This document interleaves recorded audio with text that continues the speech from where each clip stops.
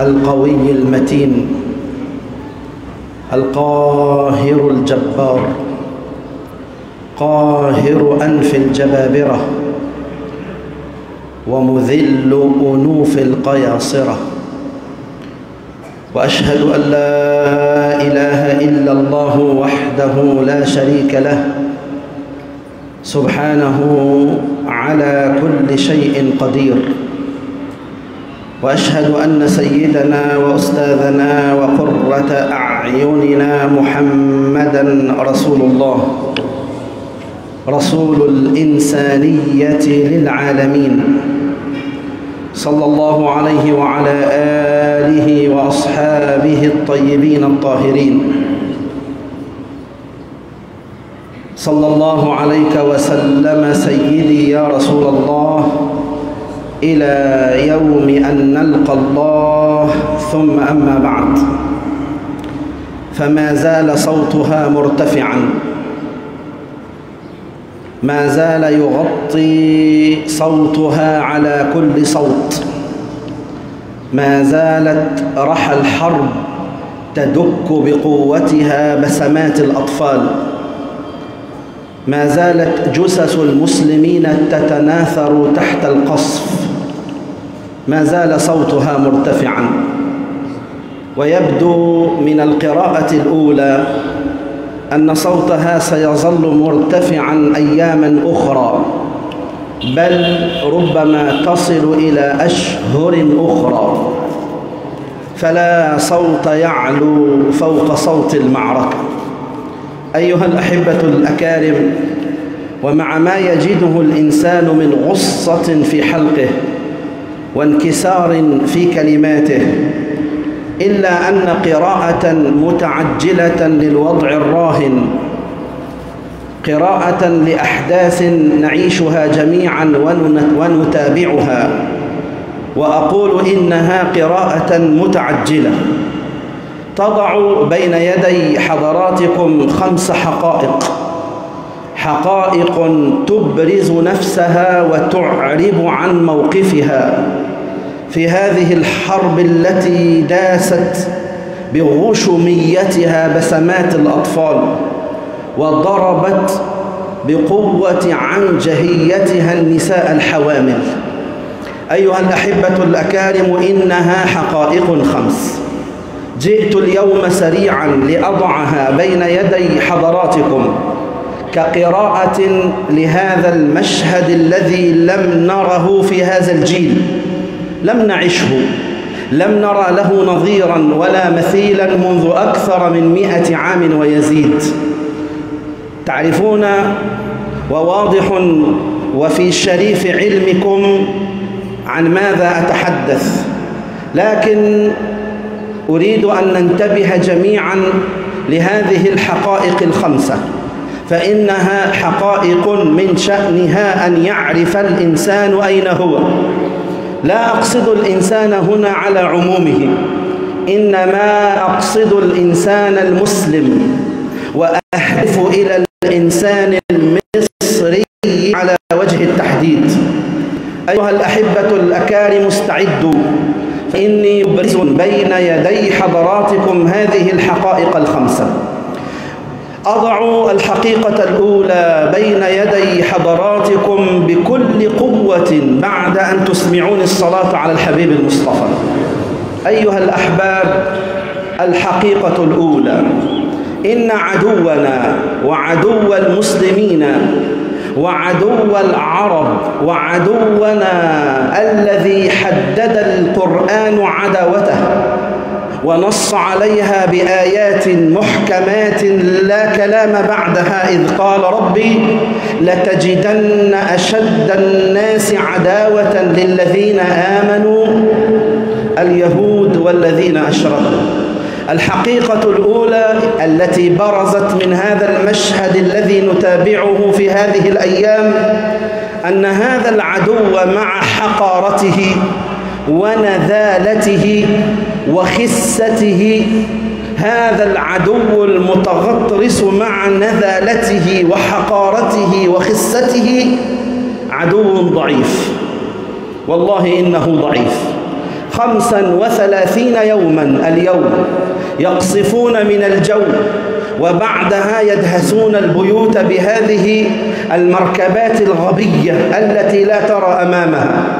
خمسا وثلاثين يوما ومع ذلك لم يحددوا هدفا واحدا من الأهداف التي أعلنوها. إن هذا لعمري عدو ضعيف. يتكلم بكلام لا يستطيع أن يحققه. هذه حقيقة أبرزت نفسها في هذه الأيام. وماذا أستفيد أنا وأنا المسلم المصري من هذه الحقيقة؟ أستفيد منها ألا أخاف وألا يقع الوجل والاضطراب في القلوب كما هو حادث على مدى مئة عام. صدروا لنا أيها الأحبة الأكارم أن عندهم ما لم يعرفه أهل الأرض وأنهم يستطيعون أن يلتقطوا دبانة من بين شعب كامل.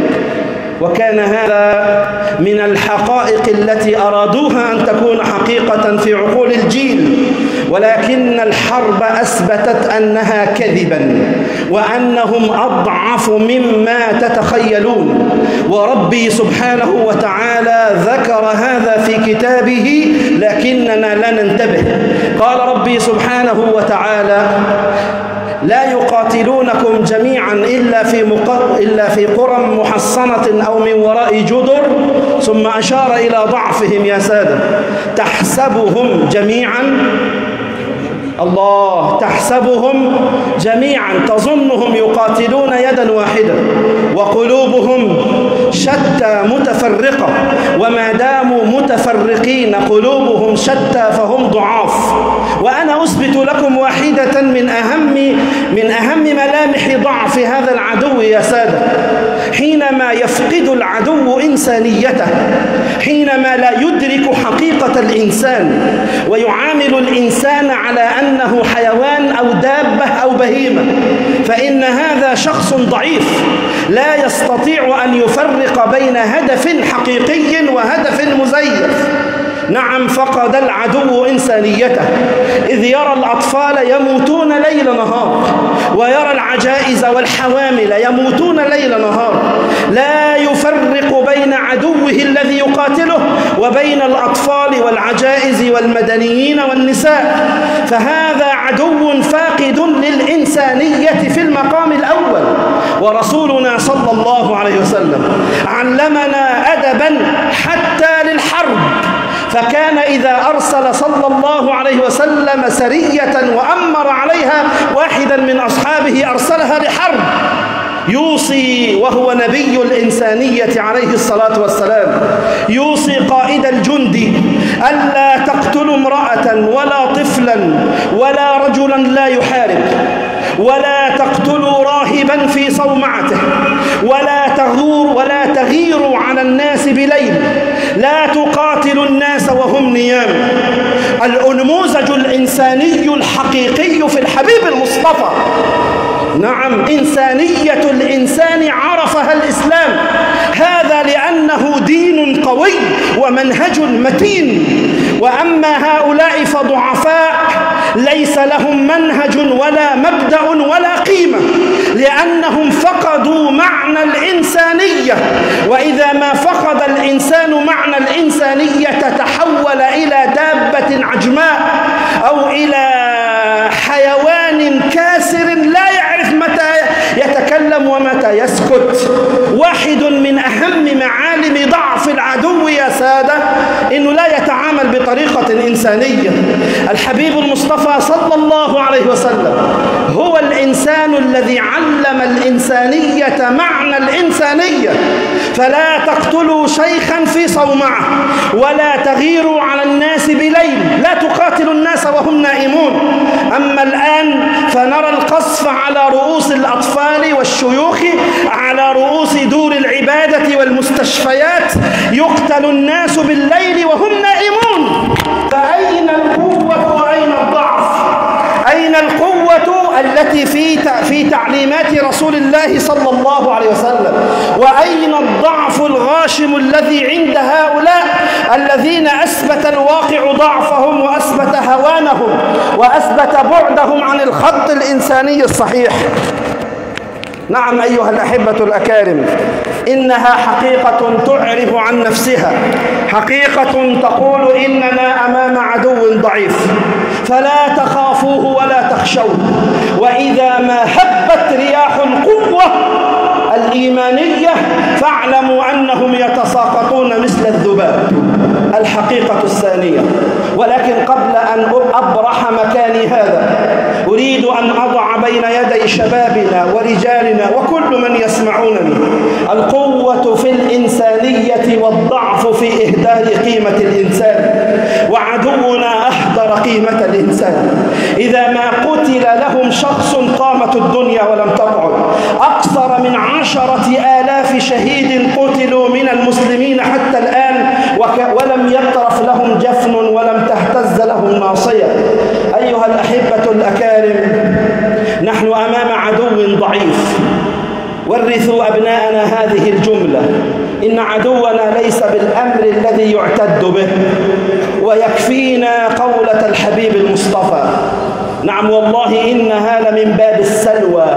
حينما وقف أبو سفيان بعد غزوة أحد وجميعكم بفضل الله يحفظ هذه الجملة وقف أبو سفيان بعد غزوة أحد شامتا في المسلمين الذين انكسروا أمام جيش الكفار وأخذ يشمت ويبرز لسانه للمسلمين ويقول يوم بيوم يوم بيوم. أعل هبل. يوم بيوم. فلما وجد النبي الكافر يشمت قال رسول الله ألا تردون عليه؟ قالوا بما نرد عليه يا رسول الله؟ نرد عليه وعلى أمثاله من أعداء الضعف والهوان إلى يوم القيامة. قالوا يوم بيوم. قلنا كيف نرد عليه يا رسول الله؟ قال قولوا ليسوا سواء ليسوا سواء قتلانا في الجنة وقتلاكم في النار. هذا عدو ضعيف يا سادة. ورثوا الجيل أن المعلومة التي انتشرت أن هذا عدو لا يقهر وأن عندهم ما يخطف سن الدبوس من بين شعب لا عدد له هذا كله كذب. وهذا الكلام يأخذني إلى الحقيقة الثانية. أقولها بعد أن توحدوا الله. وسامحوني فإنها رسالة في غاية القوة. ومتى نتكلم إن لم نتكلم في هذه الأيام؟ يا أيها الأحباب حقيقة برزت على السطح. أعربت عن نفسها. إعلامهم كاذب. وإنهم يبثون الأراجيف والأكاذيب. هذا يعني أنهم على مدار مئة عام يغسلون أدمغة الجيل ويصدرون لهم الكذب البواح. ونجري خلفهم جريان الظامئ خلف الماء البارد. لا بد وأن ننتبه أن كل ما يأتيك من إعلامهم فهو كاذب. الصهاينة والأمريكان فإنها آلة إعلامية كاذبة. لا تعطيها عقلك لا تجعلها مصدرا لثقافتك ولا لمعلوماتك. فإن الواقع أثبت أنها إعلام أن إعلامهم إعلام كاذب. الحقيقة الثالثة بعد أن ترفعوا أصواتكم بلا إله إلا الله أيها الأحبة الأكارم ها ذكرتم جميعا قولة التوحيد وقلتم لا إله إلا الله فإن الواقع أثبت وأبرز الحقيقة الثالثة وهي في جملة واحدة يا أيها المسلم لا تستهن بنفسك فأنت موحد.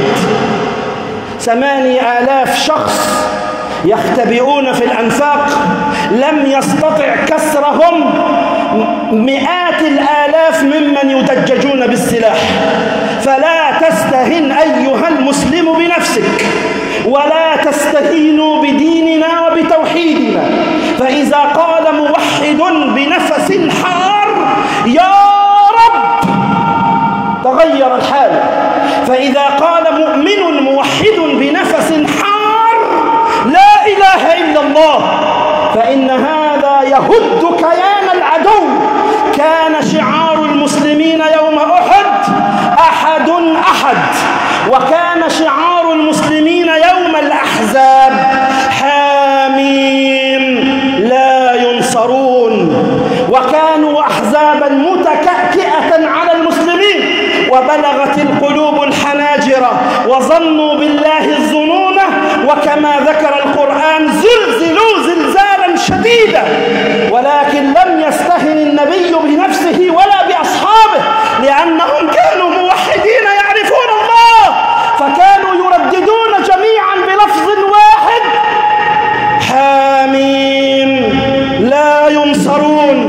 مهما قتلوا من الأبناء والرجال والشيوخ فحاميم لا ينصرون.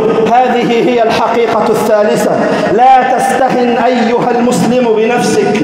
واعلم أن لك ربا على كل شيء قدير. الحقيقة الرابعة فارق كبير يا أحبابي بين من يقاتل لعقيدة وبين من يقاتل بغير عقيدة. نعم كما قال الذي نظر إلى أهل بدر مع رسول الله.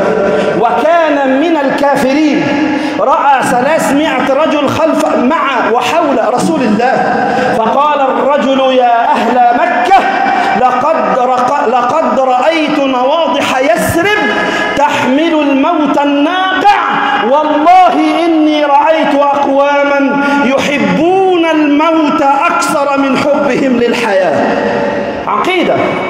الذي يقاتل عن عقيدة ليس كمن يقاتل مرتزقا أو ليعطى حفنة من المال فإنه يهتز. وقد سمعت اليوم جملة هزت عقلي وقلبي.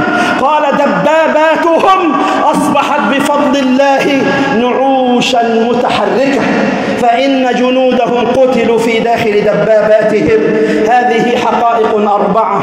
أبرزت نفسها وأعربت عن نفسها في هذه الأيام. فتعالوا لنتعلمها سويا ولنضعها في عقولنا وقلوبنا. هذا لأجل المرحلة القادمة والتي بعدها والتي بعدها إلى يوم القيامة. أقول قولي هذا وأستغفر الله العظيم. سلوا ربكم العافية يستجيب لكم والتأديب من الذنب كمن لا ذنب له.